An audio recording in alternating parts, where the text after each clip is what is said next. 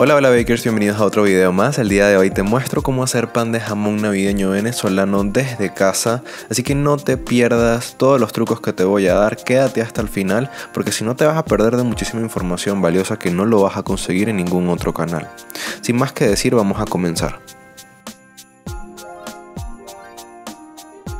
Y como en todas nuestras otras recetas vamos a proceder por cernir la harina. Esto nos va a permitir tener una miga mucho más elaborada, con mejor sabor, mejor textura, así que no se salten este paso. Vamos a cernir 263 gramos de harina panadera, es una harina especial para elaborar panes, permite desarrollar más gluten, así que por favor no la hagan con la típica todo uso. Luego de esto vamos a pesar 25 gramos de huevo, pero ya que el huevo tiene la yema y eso forma parte pues de este ingrediente, vamos a hacerlo de esta forma. Vamos a romper o a craquear la cáscara de un huevo, a abrirlo de esta forma y a mezclarlo o a batirlo con un tenedor, ¿ok? Para que después lo podamos dividir y hayan igual partes de yema y clara en, eh, en la parte que vayamos a utilizar. Recuerden que también vamos a reservar 25 gramos de huevo, eso va a ser lo que vamos a utilizar para esta receta. Y vamos a poner a entibiar agua, van a ser 118 gramos de agua y luego de esto lo vamos a llevar a una licuadora en donde vamos a agregar azúcar, el azúcar va a ser en total 13 gramos y levadura, unos 3 gramos. Esto lo vamos a mezclar con un tenedor nada más para que la levadura entre en contacto con el azúcar y el proceso de activación de esta misma pues comience más rápido eh, y luego de esto vamos a esperar unos 15 minutos. Luego de los 15 minutos vamos a notar como hay una especie de espuma. ¿sí? Vamos a agregar el huevo batido y todos los ingredientes que no sean el harina. Es decir que vamos a agregar la manteca, van a ser 30 gramos de manteca en total, vamos a agregar mostaza, van a ser 9 gramos, la cual le va a dar un toque increíble a esta receta, a esta masa, así que por favor no omitan este paso. Vamos a agregar sal, 5 gramos de esta misma y luego de esto pues vamos a llevar eh, todos estos ingredientes a licuar hasta que sean un líquido completamente homogéneo, completamente bien mezclado y se lo vamos a agregar a nuestra harina previamente cernida. Con ayuda de cualquier utensilio de cocina vamos a mezclar todos estos ingredientes hasta que sea pues una, una pasta, una mezcla de esta consistencia y ya cuando sea difícil de mezclar con este mismo vamos a proceder a amasarlos en nuestra superficie de trabajo. Yo estoy amasando, estoy haciendo un amasado en B, ok, se le llama en B porque después dibujas una B en la superficie de trabajo, en el mesón de cocina, a medida vas avanzando, pero la verdad es que puedes hacerlo de la forma que quieras, ¿sí? Lo importante es hacerlo por unos 7 minutos y luego de estos 7 minutos vamos a proceder a sobar la masa. Esto lo vamos a hacer de esta forma. Vamos a estirar con un rodillo nuestra masa, luego plegarla, después girarla 90 grados en la superficie de trabajo y seguirlo haciendo. Lo vamos a hacer en total unas 6 a 8 veces. Esto va a ser súper importante para el pan, para la masa, porque va a permitir que se desarrolle una miga como bastante apretada, bastante eh, compacta y le va a dar esa característica del pan de jamón que queremos tener. Luego de haber hecho esto 6 o 7 veces vamos a proceder a llevarlo a un bowl previamente aceitado o enmantecado y lo vamos a cubrir y lo vamos a dejar reposar por 20 minutos. Aquí no buscamos crecimiento, buscamos nada más que eh, descanse el gluten.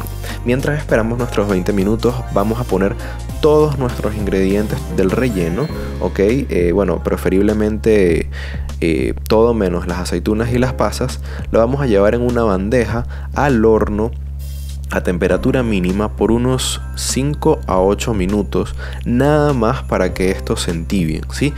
No queremos que esto se cocine, no queremos que esto se hornee, nada más buscamos que esto agarren como un poquito de calor para que no interfiera con la fermentación, sino que por lo contrario favorezca que el pan internamente pueda mantener la temperatura y pueda desarrollar la fermentación. Como pueden ver en este momento estoy poniendo en remojo mis aceitunas.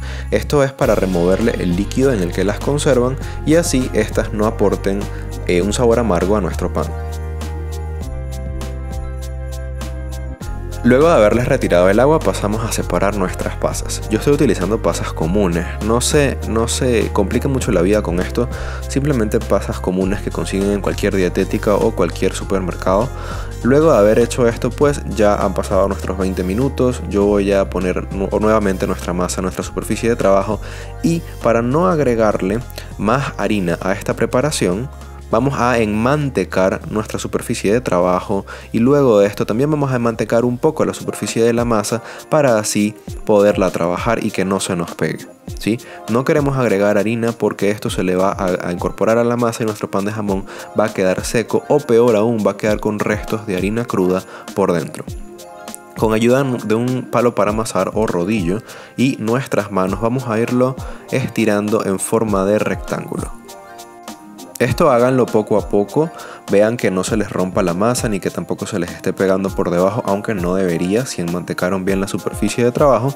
Y luego de que hayan terminado, pues procederemos con el relleno. Este paso que yo estoy haciendo es opcional, es meramente estético.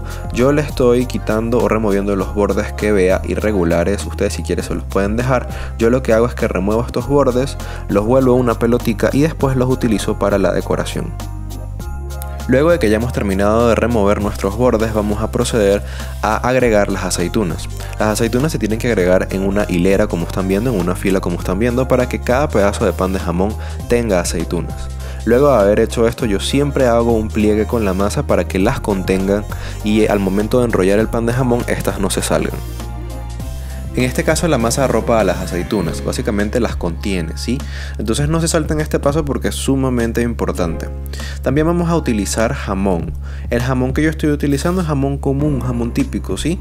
Esto es otro truco que yo utilizo siempre al hacer pan de jamón, es que no lo hago todo con jamón ahumado porque a veces pues uno no tiene la disponibilidad económica para esto, pero sí lo mezclo con jamón ahumado para que le dé ese toque. Si ustedes están en un sitio en donde no consiguen esto, también pueden utilizar lomo de cerdo ahumado, que es lo que yo estoy utilizando y sabe exactamente igual. Aparte de esto, vamos a eh, agregar panceta o tocineta, vamos a agregar tres tiras de una panceta o tocineta que tenga bastante contenido graso porque esta grasita va a hacer que le dé un toque húmedo y un, como un toque salado también bastante rico. Aparte vamos a agregar nuestras pasas. Estas pasas va a ser lo que le va a dar el dulce a nuestro pan de jamón. Si ustedes lo quieren más dulce, agréguenle más pasas. Si lo quieren menos dulce, pues agréguenle menos. Y este es otro paso opcional, pero que si ustedes quieren que este pan de jamón le sepa a panadería venezolana, se lo van a tener que agregar. Hay gente que lo agrega en como almíbar, ¿ok? En líquido, pero a mí me gusta agregarlo así porque no le aporta humedad a la masa, no se puede salir por los lados, es básicamente más organizado y más fácil de manejar. Entonces lo que hice fue rayar mi papelón y agregarle un toque de sal, un puntico nada más.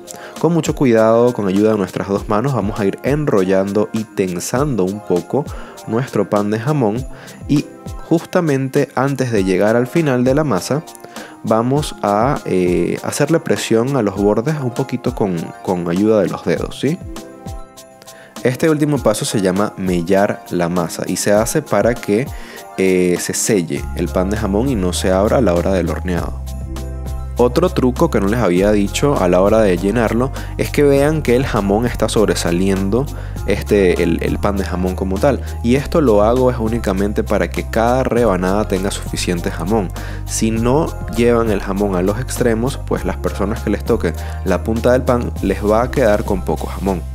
Una vez habiendo terminado de sellar el pan, vamos a proceder a trabajar con nuestros residuos de masa aquí en este momento yo tengo los restantes de masa, los pedacitos de masa que había sobrado y pues los estoy haciendo tiritas y estoy preparándome para hacerle los adornos a este pan.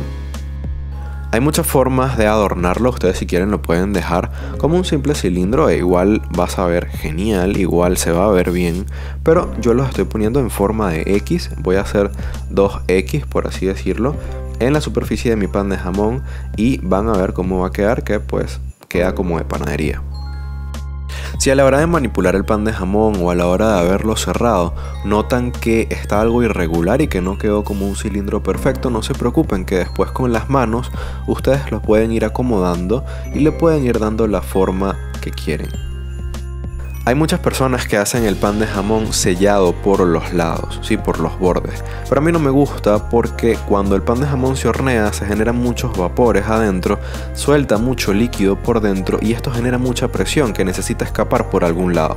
Por ende yo le dejo estos extremos abiertos y aparte le hago eh, aberturas con un cuchillo o con un tenedor de esta forma.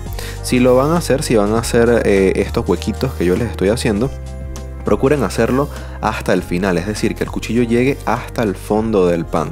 Y cuando lo vayan a sacar, ayúdense con sus dedos porque a veces ocurre que pinchan ciertas aceitunas o pinchan pasitas, se las traen y rompen el pan de jamón.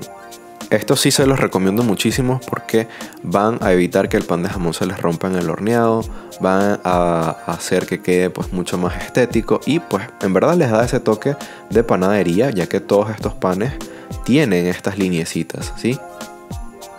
Una vez hayan terminado de hacer, hacer las liniecitas, hacer los cortes, lo vamos a llevar a reposo cubierto de papel film por aproximadamente 90 minutos. Si ustedes igual vayan viendo el pan porque si está en un sitio muy cálido, pues se va a fermentar más rápido. Entonces puede ser de 60 a 90 minutos.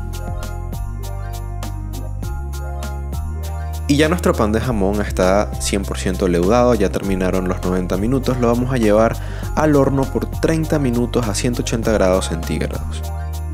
Miren lo dorado que está y para darle un toque brilloso y extra lo estoy barnizando de mantequilla. Pero lamentablemente todo este conocimiento que te estoy dando no es gratis, tienes que suscribirte al canal si no estás suscrito y tienes que darle like al video. Sí, recuérdate que este canal te da conocimientos que más ninguno te está dando, entonces ayuda a crecer esta comunidad y asegúrate de no perderte de ninguna de mis recetas que van a estar muy buenas. Coméntame en la descripción si ya has probado el pan de jamón, si prepararías esta receta y con quién la prepararías.